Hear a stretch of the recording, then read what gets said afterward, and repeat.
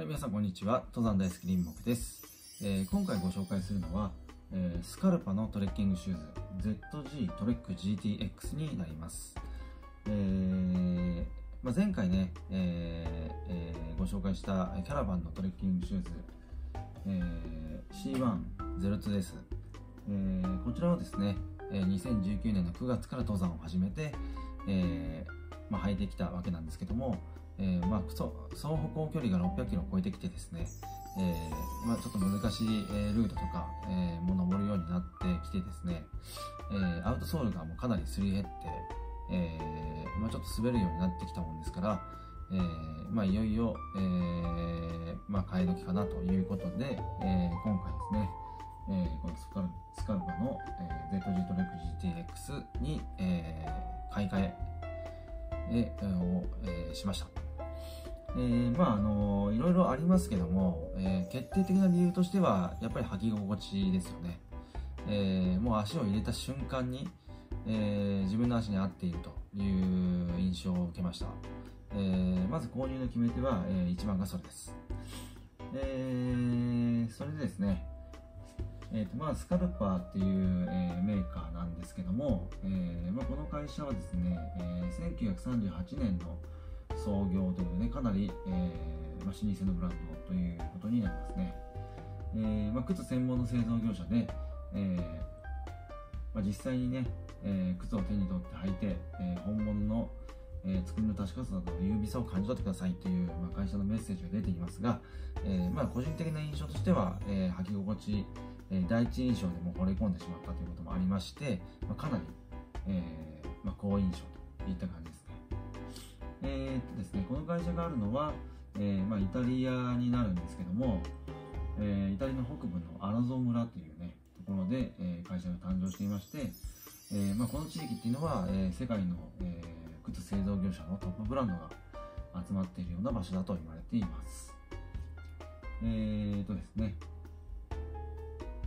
まあ、この、えースカルパ社が、えーまあ、提案する靴というのは、えーまあ、もちろんこういったね、えー美しいデザインであったり、えーまあ、当然デザインだけではなく、えー丈夫で長く使うことができて、えーまあ、修理も、えーきちっと、対応することができて、えまあこのねえーまあ、製品ものづくりに対して、えーコストや効率を、えー優先させずに、えーまあ、真摯にものづくりに向き合っているという会社だというふうになっています。でそれではね、えー、ZG トレック GTX の、えー紹介をしていきたいと思うんですが、えーまずね、えー用途になりますが、えー日帰り登山から、えー山小屋泊、えーま、トレッキング全般にね、えー対応した、えーモデルになっています。でフィット感を追求してソフトの履き心地が足に優しいモデルということで、えま、これに関してはもう、えーま、フィッティングした時点でそれはすぐ感じました。えそしてですね、えま、アクティブインパクトと言われる、え衝撃吸収機能が備わっていまして、えまあ、あらゆる地形で発揮される衝撃吸収性能ということで、えまあ、地面からの、え衝撃を吸収すると、えミッドソールとね、えトゥーヒールに配置された PU 材っていう、えまあ、このブルーの素材になると思うんですけども、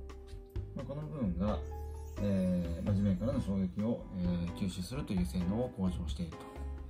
ということになっています。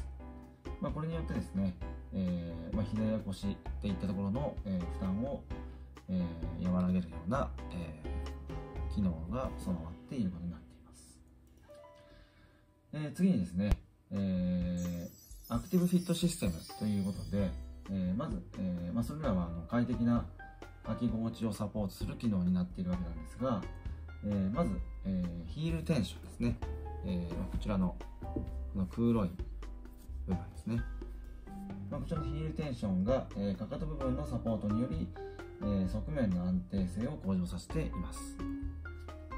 えそして、えオートフィットカラーというのは、えーこの履き口の、え伸縮素材で作られた、えーエルゴミックなパッドということで、えーまあ、この部分割と、えーしっかりしたね作りになってるんですけども、まあ、履いた感じだと、えーすごく、えー、しっかりフォールドしてくれるので、えー、安心感があるんですが、まあ、足首をしっかり包み込んでくれるので、えー、すごくね安定感があるという感じですね。え次にですね、えフレックスポイントこの部分なんですけども、えー、歩行中の足首の自然な動きを可能にするアッパーデザインということで、まあ、これによって、えー、足首がねこう前後に、えー、曲げられた時に、